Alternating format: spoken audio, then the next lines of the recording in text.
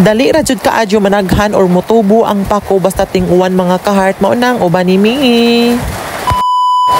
For to this video di ay mga ka-heart no manguha daming pako pero before ta mo proceed sa pagpanguha og pako mohapit sa mig pang panglabas sa among mga habol kay murag humot-humot na gajud ni pila na gud ni kasi manang way laba-laba. Og pasensya dai sa background mga ka-heart no sa akong voice over kay nay kusog kadyo ang lagatak sa scene kay kusog jud ang uwan karon kay bagyo. Og samtang di ay nga nang labak ko si Jua pud mga ka-heart iyang gipanguha ang katong mga natagak nga mga palwa kay maayo na lang na amo isugnod kay wala gajud mi sugnod. Og pagkahuman nga adto na dai mi sa salog kay sa salog jud namo kwaon ang pako kay tuwa didto ang daghan. Og basta ting-uwan gani gajud ang pako. Kusog jud kay motubo mga duha or tulo ka adlaw na na po kay ma-harvest or makuha kay mao jud na ilang ganahan nga kan- kanunay nagatubig kanunay sila nabisbisan murag ako. Lami ka jud ning pako isalad bitaw i-blanch rin nimo half cook gani siya. Isawsaw nimo sa ginamos nga naisilin mga sibuyas mga nana. Unya lami pusad ni siya isalad nga butangan nimo siya og tuno. Ang isabaw nimo sa kinabud nga lubi isuka lami jud kaadyo ni daghan mang pras daghan mang pwedeng i, iluto aning pako mga hard nakadepende na nimo kung unsa imong kung nimo pagluto. Unya nakita ninyo ang tubig sa salog no medyo lubog jud siya. Lami mo ni lami ipangwa og isda ka nang ipangawil bitaw pa pingwit gamitan nimo siya og kawayan nga na siya pa kana ang nylon mo ay taga.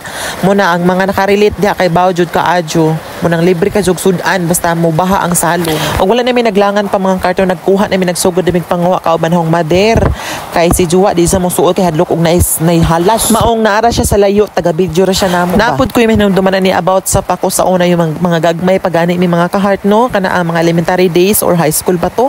Nakalimot ko nga nang manguha mig pako kanang wa mig klase manguha mig pako mga barkada ang ang igsuon nga para na ay mangangkat pud ibaligya ra pud niya mo nang inigkahalin ato. Usa pa mi makakwarta mo nang nadyo ko mahinumduman ni sa unang panahon nga makaluwas dun sa among panginahanglan nga is, mga bata pa ba? Wala mi wala mi mga cellphone mga inana mo ni among mga kalingawan bitaw. Lingaw-lingaw siya pero makakwarta jud unsa na po to yung one time nga daghang kadyo among gipanguha bitaw. Amo ra ni siyang isudan paglabay namo sa payag na nag-ingon nga daghana ba pug kaadyo ana? Oy matabang na ninjog kaon ja na po ito yung tubag ingon nga maadyo na po na la, maadyo na po na lamang nila nga na sila'y masudaan kaysa magsigsuroy-suroy ay mahimo. Ambot ba pud kaning pako mga ka-heart no? Makaingon gajug ko nga dako kajong tabang o dako kajong kaluwasan sa among kagutom ug mi sudaan labi na sa mga para na mo mga pobre kana ang di majud tanan nga makapalit mga lamion nga sudaan mga nang kanila lami among panguhaon malingaw og mas maadyo pa wala pay mga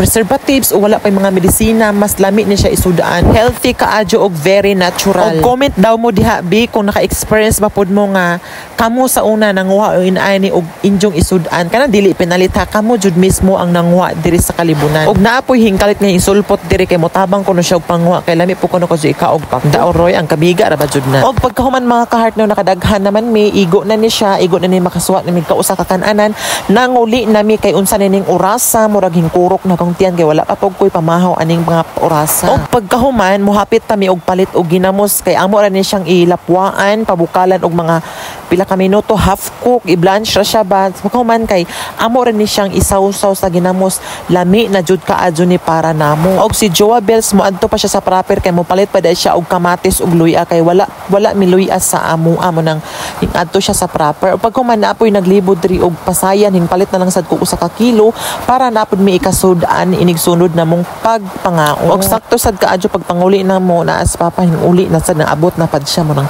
dungan-dungan mig panguli mga ka-heart no nagpanon. Basta dili lang kasud ka magtinapol bitaw no naara gasud kay makuha nga grasya og pagkaon diri sa palibot maunang adyaw pagpatinapol samtang kaya og samtang buhi pataaning kalibutan. Dili rason ang kapobrehon nga no napas mo ka. Og din na lang ko to mga ka-heart no tag nag-enjoy mo og saktong wala pa naka-follow please follow. And that's it. This is love you lang ga